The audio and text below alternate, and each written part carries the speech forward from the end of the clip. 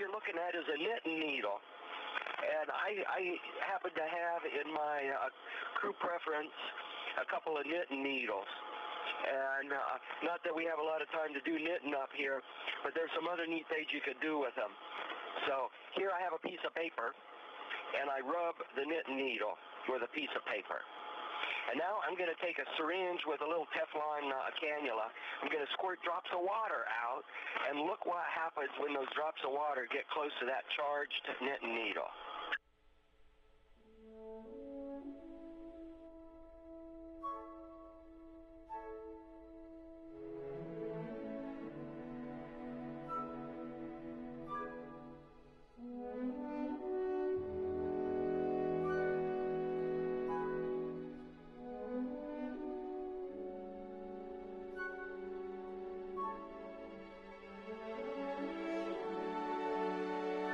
Is like a little satellite going around a cylindrical shaped planet.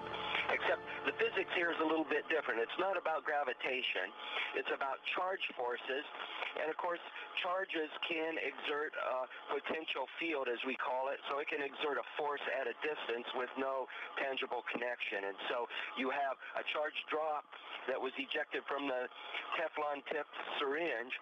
And then you have the, the charged uh, knitting needle and uh, they're going to be attracted if they're opposite charges, but because the drop has some velocity to it, it's orbiting around the knitting needle.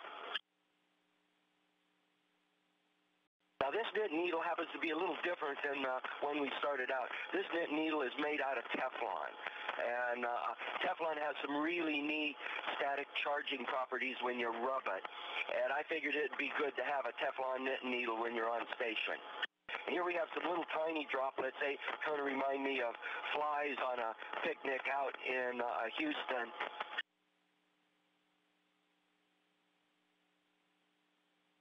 And these droplets, the bigger ones that you're seeing there, are about uh, six to seven millimeters. That Teflon rod is about six and a half millimeters in diameter.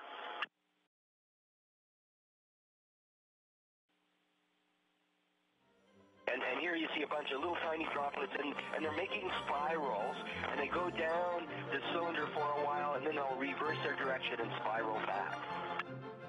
Now, if you look closely up in the upper right-hand corner, you'll see the injection nozzle from the syringe, but you also see that I have a second knitting needle.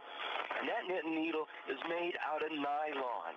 And so you can rub the nylon, you can rub the Teflon, and there's some interesting charge properties that happen uh, between Teflon and nylon. And, and I found that it's useful to have these when you want to put a charge on a droplet so it will orbit your uh, knitting needle. And of course, uh, once you set up a knit needle like this, you start to play with the water droplets. Uh, you you just you just can't have too much video like this. It, it is it's so much fun to watch these little droplets and and notice as they get closer and closer to the the knit needle, uh, their orbits go faster and faster. And the further away from the knit needle, the slower the orbit. The closer to the knit needle, the faster the orbit. And that's the same thing with the orbital mechanics when you have a satellite around a planet. And again, the physics is different. A satellite's orbiting planets is uh, gravitational potentials and gravitational forces. And this is static electric uh, potentials and static electric forces. It's an, an analogous uh, rationale to why we do surface tension experiments up here. Uh, surface tension is a very weak force, and gravity overpowers it. And when you go in a weightless environment, you effectively remove the gravitational forces, and now you can look at unadulterated surface tension physics. I'd like to, to leave now with a question for students or anyone else that might be watching this. And, and that's to, to try to figure out why do I have a Teflon knit needle and why do I have a nylon knit needle and, uh, and, and why I use the knit needles the way I did. Well, that was just way cool, Don. We were really enjoying that.